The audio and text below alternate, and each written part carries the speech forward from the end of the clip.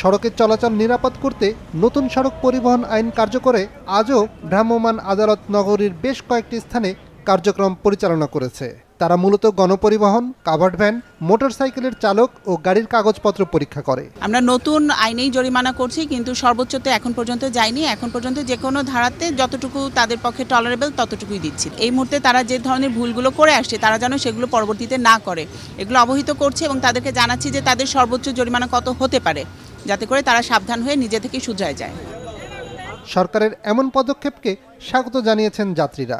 আইন করছে সরকার আইন প্রয়োগ করতে হবে। প্রতি সপ্তাহে সপ্তাহে এরকম করা উচিত। যদি ভালো কিছু পেতে হয় তাহলে অবশ্যই সহ্য করা উচিত। না হলে তো আমাদের অপরিকল্পিত সব যত সব যে রাস্তাঘাটের চলাফেরা কোনো আইন শৃঙ্খলা কিছুই মানে না। তো তার জন্য একটু তো সহ্য করা তো যায়। তবে চালকদের দাবি কারও কারও দশ বছরের বাস চালানোর অভিজ্ঞতা থাকলেও বিআরটি এর কিছু অসাধু কর্মকর্তাদের অসহযোগিতায় লাইসেন্স সংগ্রহ করতে পারেননি। ভাবছি যে মিডিয়াম লাইসেন্স দিয়ে চালান যাব এই জন্য চালাইতে আছি।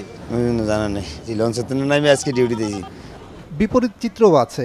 কাগজপত্র ঠিক থাকায় কোনো জরিমানাই গুনতে হয়নি অনেককে। চেক করল সব কিছু ঠিক আছে আমাকে জরিমানা করি নেই। টোটাল ফাংশনটাতে আমাদের যে রোডের যে একটা চাপ আছে এই চাপটা কমবে। এদিকে এই আইনের বিরুদ্ধে গঠন হয়েছে ট্রাক কাভার্ড ভ্যান পণ্য পরিবহন মালিক শ্রমিক ঐক্য পরিষদ। দুপুরে তারা ঘোষণা দেয় বুধবার থেকে পণ্যবাহী যান চলাচল অনির্দিষ্টকালের জন্য বন্ধ থাকবে। সকল প্রকার গাড়ির মধ্যে বড় গাড়ি ছোট গাড়ি আছে বড় বড় বড়, সকল ট্রাক খাবার ভ্যান সহ টেইলার সব পিক আপ লং ভেহিকেল আছে। সব পণ্য পরিবহন সেক্টরের সব গাড়ি আগামী ছয়টার থেকে এটা বন্ধ থাকবে অনির্দিষ্টকালের জন্য। আমরা বলছি এই আইন সম্পূর্ণ স্থগিত করতে হবে। স্থগিত করার পরে অরিজিনাল মালিক শ্রমিক সারা দেশে যারা তাদের আইন মতো এইসব আইন চলবে।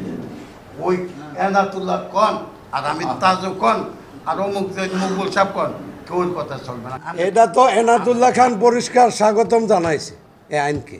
গত সাত দিন আগেও এখানে উনি স্বাগতম জানাইছে। তাহলে উনি স্বাগতম জানাইছে আজকে মমিন সিং রোডে ওনার গাড়ি এনআ এক্সপ্রেস কীভাবে বন্ধ হইল? আপনি কন? সাধারণ সমাজে চালাবো না তাহলে মুখে কথা কাজে আর আইন কার্যকর করার পর থেকেই সড়কে যান চলাচল কমে গেছে।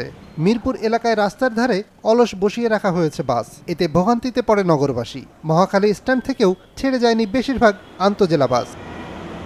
নিয়াজ মোর্শেদ মাছাঙ্গা সংবাদ ঢাকা।